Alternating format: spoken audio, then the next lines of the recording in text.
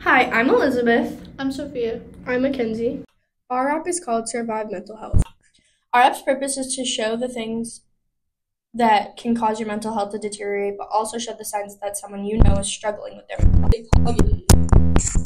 Our app is mainly targeted towards young teens and adults.